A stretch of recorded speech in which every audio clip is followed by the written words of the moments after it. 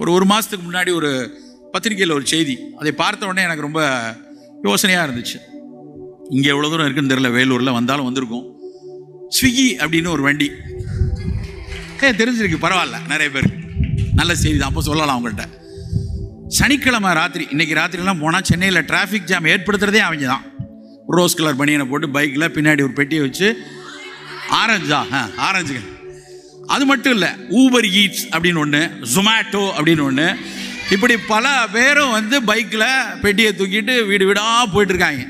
முதல்ல நான் நினச்சேன் இதெல்லாம் எப்படியா சாப்பாடை வாங்கி கொடுத்தா நம்மலாம் கடிச்சோரெலாம் தின்னு பழக்கம்லாம் போச்சே இவனுக்கு எப்படி கடையில் வாங்கி சாப்பிட்டு வாங்குவாங்க அப்படின்னு நினைத்து கொண்டிருந்தேன்.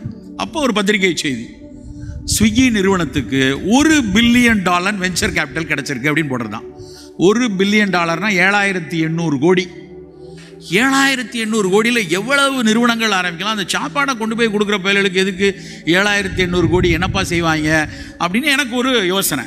நான் அந்த திரும்ப அந்த பத்திரிகை செய்தியை கொஞ்சம் பிஸ்னஸ் லைனில் வந்துச்சு. பெருசாக இருந்தது படித்து பார்த்தேன்.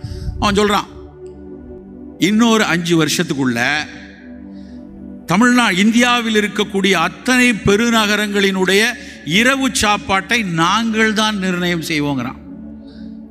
அவனும் சும்மா சொல்கிறாள் அங்கே இருக்கவன்லாம் ஐஐடி ஐஏஎம்ல படிச்சுட்டு நமக்காகவே ரூம் போட்டு யோசிச்சுட்டு இருக்காங்க ரொம்ப தெளிவாக சொல்கிறான் அத்தனை பெருநகரங்களினுடைய உணவை நாங்கள் தான் நிர்ணயம் பண்ணுவோம் அப்படின்னு சொல்லியிருக்கான். அந்த நிறுவனத்துக்கு யார் முதலீடு பண்ணியிருக்கார்கள்னு பார்த்தா அறுபத்தி ஏழு சதவீதம் அறுநூத்தி எழுபது மில்லியன் சீனாவில் இருக்கக்கூடிய ஒரு பெரிய உணவு நிறுவனம் நிர்ணயம் பண்ணி இன்வெஸ்ட் பண்ணியிருக்கு. கொஞ்சம் யோசிக்கணும் நம்ம வந்து சினிமாவில் தான் இப்படிலாம் யோசிச்சு பண்ணுவாங்களா? இல்லை வாழ்க்கையிலே இப்படிலாம் நடக்குது. நம்ம யோசிச்சுக்கணும். ஏன் இப்படிலாம் நடக்குது அப்படின்னா இப்போ நம்ம சொன்ன உடனே சார் சார் அது ஆரஞ்சு சட்டை இல்லை சோப்பு சட்டை அப்படின்னு தெளிவாங்கன்னு சொல்கிறாங்கல்ல இப்போ இந்த தலைமுறைக்கு ஸ்விக்கி தெரிஞ்சதுக்கப்புறம் ஃபோனில் அதுக்கு ஒரு ஆப் இருக்கும். இந்த ஆப் ஆப்புங்கிறதுக்கு தமிழில் அதை ஆப்பு ஆப்புன்னு சொல்லலாம். ஏன்னா அப்படி தான் ஆப் வைக்கிறதுக்கு தான் வச்சுருக்காங்க அது. அதில் ஸ்விக்கி இறக்கிடுவாங்க. இறக்கிட்டு சரி சிவராம் சார் வந்து நல்ல சிறுதானியத்தில் சாப்பிடணும்னு சொல்லியிருக்காரு. நம்ம வந்து ஸ்விக்கியில் ஒரு சிறுதானியத்தில் உளுந்த வடை செஞ்சுருக்கானா?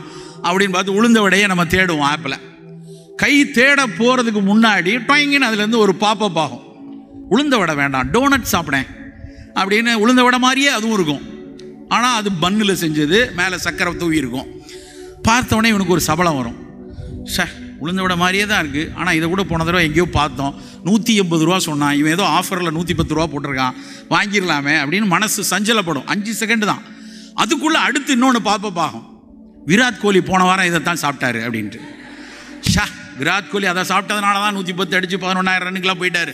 அப்போ நம்ம வாங்கிட வேண்டியதான் டபக்குன்னு அடிச்சிருவான். அப்போ என்ன ஆகும்னா உன்னுடைய தேர்வு நீ உளுந்த வடை சாப்பிடணும்னு நினச்சா கூட உன் மூளையை சலவை செய்வதற்கு இதில் ஆர்டிஃபிஷியல் இன்டெலிஜென்ஸ் இருக்குது அந்த ஆர்டிஃபிஷியல் இன்டெலிஜென்ஸ் உன் வீட்டில் கொண்டு போய் டோனட்டை கொண்டு வந்து கொடுத்துரும். உன் வீட்டில் கடையில் இல்லை.